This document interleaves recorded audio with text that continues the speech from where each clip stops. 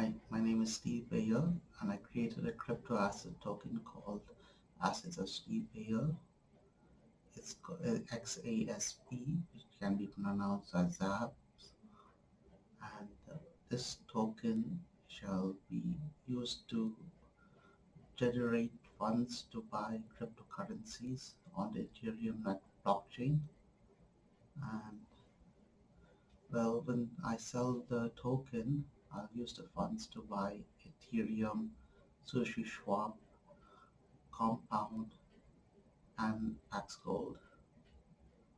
So this is just a video saying I launched a new crypto asset token on the Ethereum blockchain. I'll be using funds generated from the sales of tokens to buy crypto assets. Maybe I'll even buy non-fungible tokens. And that's it for this vlog. Just a vlog to say I launched a new cryptocurrency token and you'll have a billion coin supply.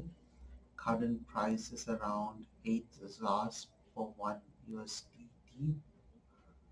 Can get that Sushi Swap. I'll put, link, I'll put links in the description. That's it for this vlog. Vlog over.